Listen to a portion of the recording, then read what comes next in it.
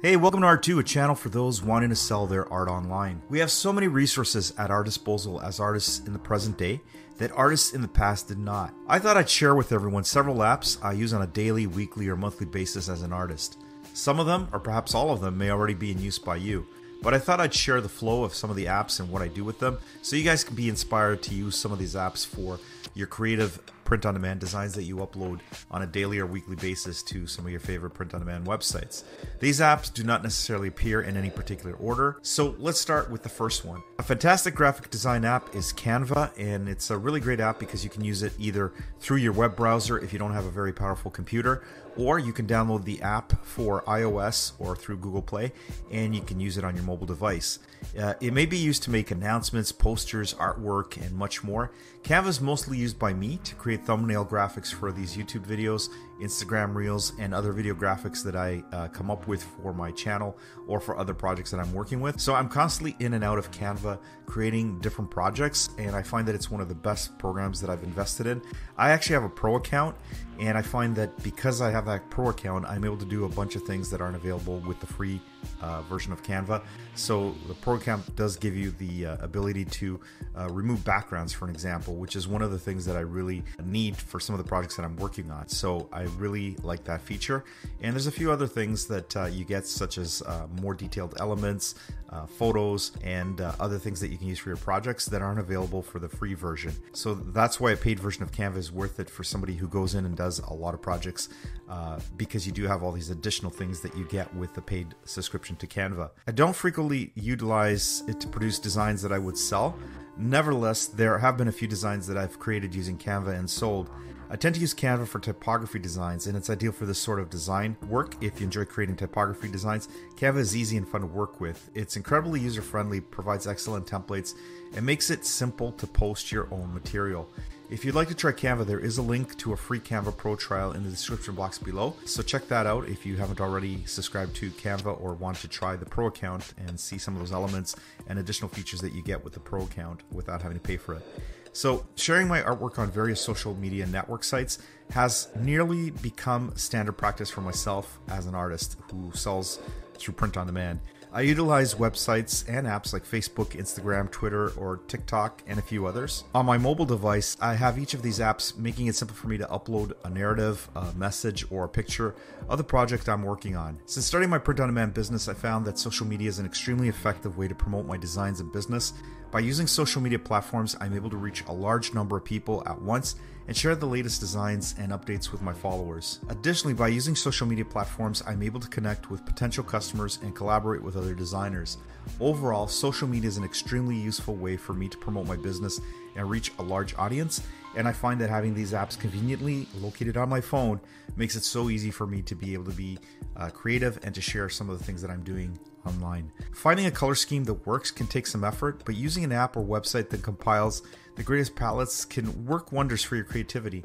Knowing which color go well together saves me a lot of time while designing because I don't have to waste time choosing colors. So these color wheels and uh, knowing palettes and what colors work together is definitely something that as an artist or a designer you should be looking into if you aren't already because it will save you a large amount of time not having to try to figure out what colors work well together. By having this in front of you, you can start your project off knowing that certain colors work well together and how to incorporate that into your design. I didn't actually utilize a color wheel for a very long time. As I've learned more, I've used color wheels more and more. It's simple to print out a color wheel to hang in your workspace, but some programs let you do more and experiment with various shades and tints of the colors you're using. I frequently just use the internet to look up uh, color wheels, but there are several excellent free apps available.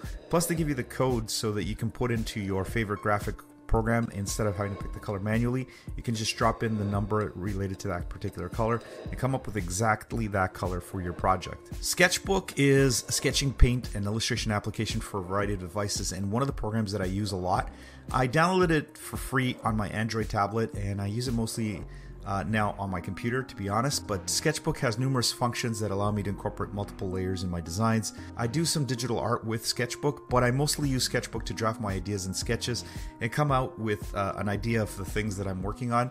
So that I can either incorporate it into a different format. Sketchbook is also available for free for various devices, so it's worth downloading and having a copy on hand to play with and experimenting with. I've also been using a lot of free photo editing apps to fix and edit my pictures for my print on demand business. Now, these apps have really helped me improve my images and they made it much easier for me to get great pictures and I can upload to various print on demand platforms quickly. Now, the thing with these programs, I don't have any particular favorite. There are so many that you can play with when you go into the App Store and download. Some of them require subscriptions to get more features, but if you play around with them, you'll find one that meets your needs and you can uh, decide if you want to pay for that program or if you uh, want to use free programs to edit your photos you already have a couple of uh, programs installed on your iPhone or Android phone. So the basic photo editing function that comes with your phone is uh, a pretty good starting point for a lot of people who want to work on their photos while on mobile devices. GIMP is another program that I use for photo editing and design work. It's an acronym for GNU Image Manipulation Program, and it's a free software image editor with capabilities similar to those of Adobe Photoshop. It's available for Windows, Mac OS 10, and also for the Linux uh, operating system. So, GIMP is used mainly by graphic designers, photographers, and anyone else who needs to edit digital images. And it's uh, free. So, basically, if you don't have the money to invest in a Photoshop subscription, then you can get GIMP for free and use this program. And I've mentioned this uh, program quite a bit on this channel because I think it's underrated and it's a great program to get people started when they're uh, low on funds to purchase some of the more expensive programs. And GIMP has done such a great, the people who put GIMP together have done such a great job at offering a free program that it's definitely worth checking out if you don't have a photo editing program on the level of Photoshop and want something free. It's uh, easy to use and has a large user base, so you can find a lot of tutorials online and get some idea of how to use GIMP just like you would with Photoshop. There are so many graphic design programs that you can get for free. This really changes the game for artists looking for tools to create their work. It's really helped with new designs and ideas that I've come up with. There are a few programs that you need to purchase, but most of them you can get for free. This means that if you're looking to improve your graphic design skills, there are a lot of options available to you. In conclusion, there are so many free apps and software for artists that can help you come up with more designs to upload to print on demand platforms. The best way to learn is to download apps and experiment with them. They can help artists make more money from their artwork, so you can decide which ones you want to pay for and which ones you uh, prefer just having a free version of a program that maybe does a few features or a few functions here and there. And uh, then you can decide if uh, your business is growing, if you should invest in paid software or subscription software uh, in the future. If you enjoyed today's video and have not already subscribed, do it now so you know when the next video is uploaded. And if you hit the like button, that really helps this channel a lot. So keep working on your art, and we'll see you guys in the next one.